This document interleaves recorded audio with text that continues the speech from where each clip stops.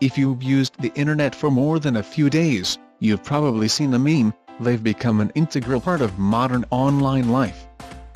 In today's video, we will reveal to you who invented memes, so stick around to find out.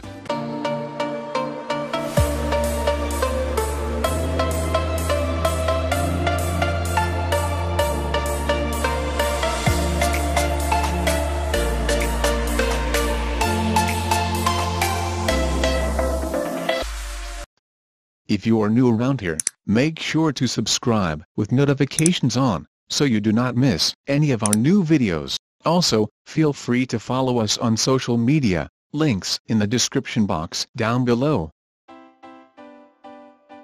Meme is a word derived from Greek, that means that which is imitated, it was shortened to meme due to its similarity to the word gene. Memes have been around since long before the internet existed, in fact, even before Dawkins coined the term. For example, the Sator Square is a palindrome of the five words, Sator Arepo Tenet Opera Rotas. You can read in any direction, assuming you read Latin, including upside down and backward. Although nobody knows for sure what it means, it has shown up over the centuries, in different cultures all over the world. However the concept of the Internet meme was first proposed by Mike Godwin, in the June 1993 issue of Wired.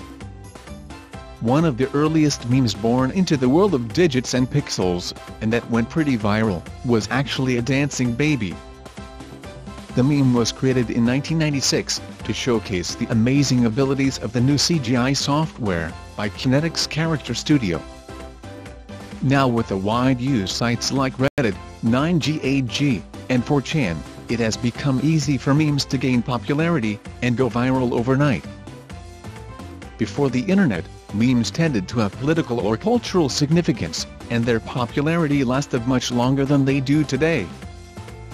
While some memes today can still show longevity, most go from viral to forgotten in a relatively short time.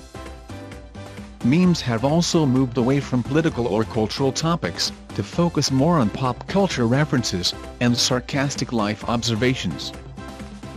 And that made them more relatable, funny, and easier for them to spread like wildfire across the web.